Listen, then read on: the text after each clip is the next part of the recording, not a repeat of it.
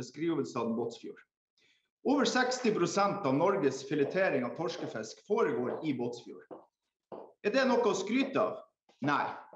Båtsfjord er faktisk et monument over en feilslått fiskeripolitikk.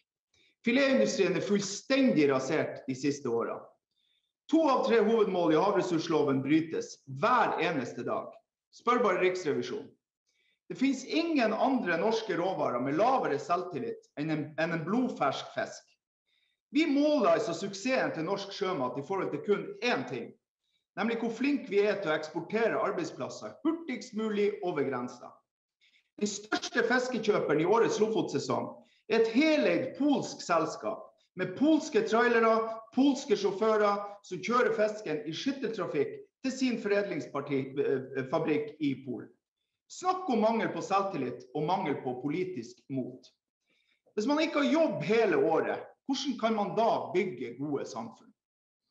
Og hvem tenker at det hadde vært smart hvis kjøttdeigen til fredagstacoen kun var tilgjengelig i februar, mars og i april? Hva er så løsninga?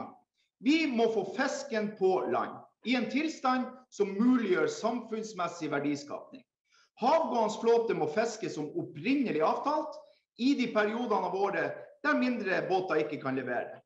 Vi må få like konkurransevilkår mellom fersk og frossen fisk, og så må også kystnær flåte ta sin del av ansvaret. Sesonger må strekkes ut, og det må fiskes på andre arter enn torsk.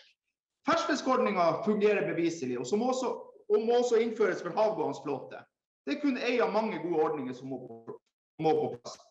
En god fiskeripolitikk handler ikke om nostalgi, men om å utnytte mulighetene for mange. Vi trenger ikke kvotemelding 2.0. Det vi trenger er en industrimelding for norsk villfisk.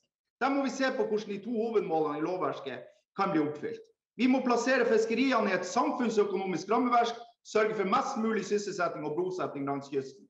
Vi må ha politisk selvtillit i fiskeripolitikken. Takk.